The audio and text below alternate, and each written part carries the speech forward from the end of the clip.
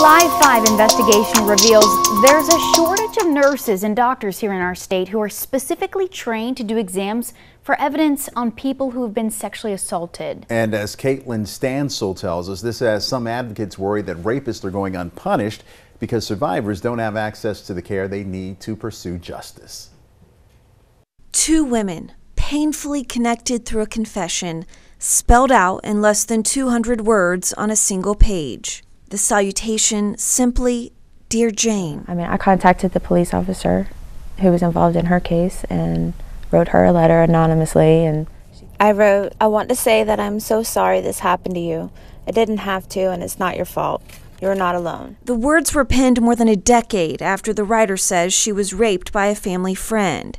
She was intent on making sure there would be a different outcome for Jane they dropped the charges in my case. Mm-hmm. So that's all I could think of was going to happen with her.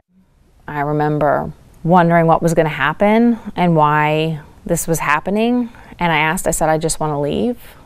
And he proceeded to just completely pull my pants straight off of my body.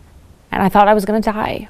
Jane knew the trauma would not end after she called 911.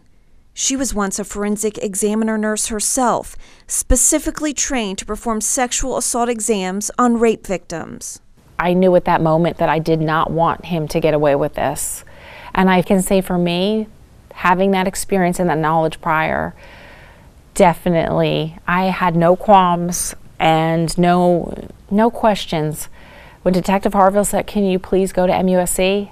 I, he didn't even have to ask me.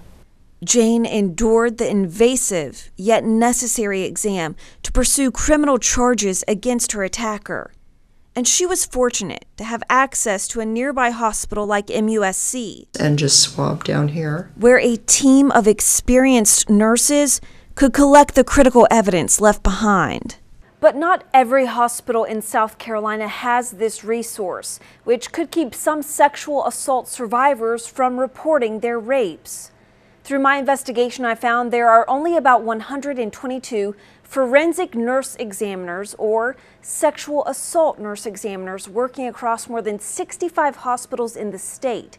And some of them work on regional teams that cover several hospitals at a time. Advocates say these numbers show more needs to be done to close this gap in care. You want to have somebody that is specially trained or you know can take that trauma-informed approach uh, that knows what they're doing or at least has some experience and not just reading the instructions out of the box. Amanda Brown is the state's Forensic Nurse Examiner Program Coordinator. She believes more state oversight could increase the number of SANEs in South Carolina and help survivors seek justice against their attackers. You only have one shot, you know, because that once that evidence is gone, it's gone. I found the Medical University of South Carolina has more resources than most 22 SANEs, 12 for adult patients, 10 with special training for children, and two more in training. We have a great team that we work with at MUSC, but to get access to them, you have to drive to MUSC.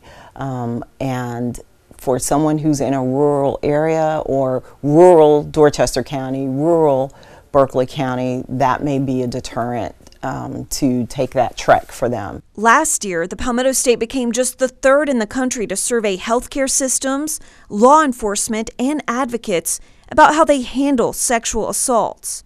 But many hospitals failed to answer. It would be ideal that you know we would be able to have hospitals they would know when I go there I'm going to be able to get an exam done and not be turned away because you're already vulnerable, you're already scared, and you're here you are having to go into an ER and tell your story, and it you know can be traumatizing. You don't want to re-traumatize them.